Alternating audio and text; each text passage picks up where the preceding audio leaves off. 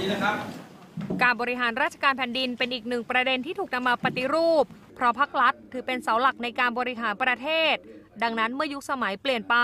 การบริหารงานของหน่วยงานรัฐต้องปรับตัวตาม โดยสิ่งที่คณะกรรมการปฏิรูปประเทศด้านบริหารราชการแผ่นดินกำหนดกลไก คือการบริการของภาครัฐต้องสะดวกรวดเร็ว ระบบข้อมูลของภาครัฐต้องบูรณาการกัน มีมาตรฐาน ทันสมัย ให้สมกับเป็นยุคดิจิทัล ขณะที่โครงสร้างของภาครัฐต้องกระทัดรัดเพื่อทำให้การทำงานนั้นรวดเร็วมากขึ้น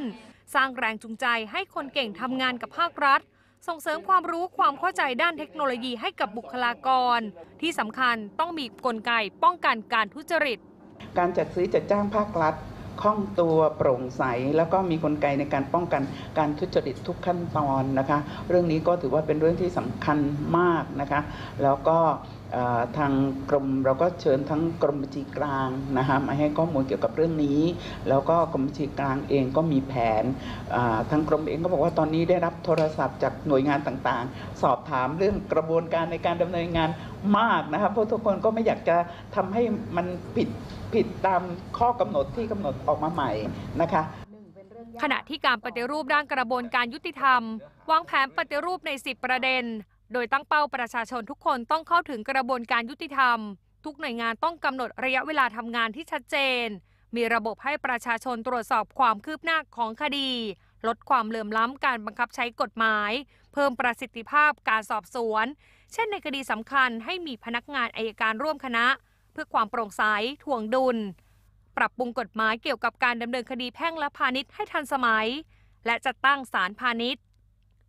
เรียนตรงๆว่าทุกฝ่ายต้องการให้การสอบสวนมีประสิทธิภาพ ต้องการให้เราได้ข้อมูลที่เป็นจริงที่สุด สิ่งสำคัญนอกจากเรื่องประสิทธิภาพ เรื่องความเป็นอิสระก็ต้องมีนะครับ เพราะฉะนั้นเนี่ยไอการสอบสวนร่วมอาจจะต้องมี เพราะปัจจุบันก็มีอยู่แล้วนะฮะในคดีไออะไรคดีพิเศษ ของดีเอสไอนะฮะบางเรื่องอายการก็เข้าไปร่วมการสอบสวน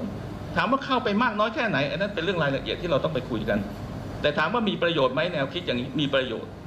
นะแต่อย่าไปทิ้งประเด็นเรื่องการถ่วงดุลนะการสอบสวนร่วมเป็นเรื่องของประสิทธิภาพ แต่สอบสวนร่วมกันแล้วเนี่ยแต่ละองค์กรจะถ่วงดุลอย่างไรเนี่ยดวงดุลกันยังไงต้องคิดต่อนะครับ ความคาดหวังของประชาชน ถือเป็นโจทย์ท้าทายของคณะกรรมการปฏิรูปประเทศ ซึ่งนอกจากการวางแนวทางปฏิรูปประเทศจากโครงสร้างแล้ว สิ่งสำคัญคือการรวบรวมความคิดเห็นของประชาชนในทุกช่องทาง เพื่อให้ตอบโจทย์ความต้องการ จนนำไปสู่การปฏิรูปอย่างแท้จริงกมลเนตรนวลจันทร์สำนักข่าวไทยอสมทรายงาน